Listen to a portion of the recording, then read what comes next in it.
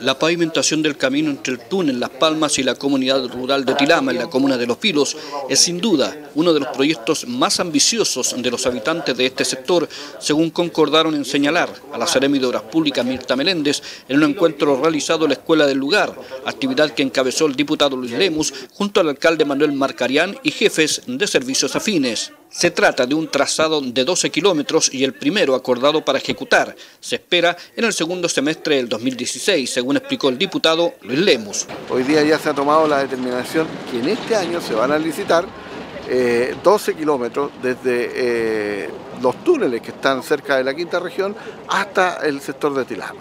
Son 12 kilómetros eh, que son bastante interesantes.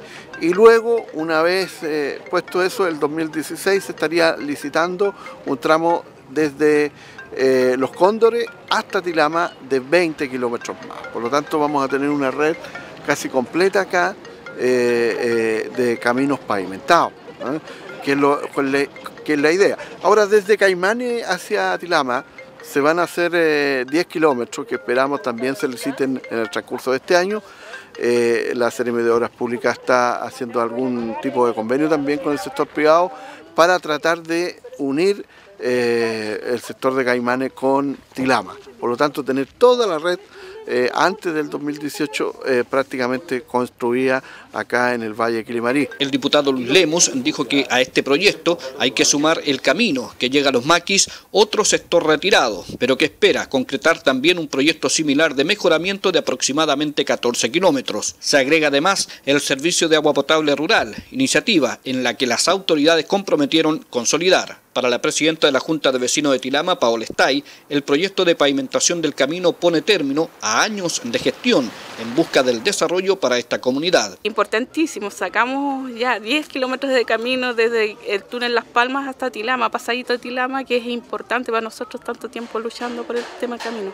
La calamina, la calamina, eh, han transcurrido hechos cerca de los puentes donde gente se le ha cortado la dirección y se han ido casi de abarrancado. La dirigente vecinal agradeció también la futura instalación de semáforos a la entrada norte del túnel Las Palmas, lo que permitirá, dijo, una mayor seguridad para el cruce vehicular. Las autoridades se trasladaron posteriormente al sector de los loros para escuchar también las demandas de los pobladores a través de Edith Marchán Rivera, presidenta del Comité de Agua Potable Rural del sector. Y súper conforme con la visita de las autoridades, especialmente del señor alcalde, del señor Luis Lemos, de la Ceremi, de la dirección de, de OH y bueno, y todas las autoridades acompañantes, para nosotros, para este sector que es tan pequeño, es súper viable que estén aquí y que se hagan presentes con nosotros y que nos apoyen y nos ayuden en esta gestión que desde hace tres años estamos tratando de conseguir agua potable y ojalá Dios quiera que se nos dé en un corto plazo y no tengamos que esperar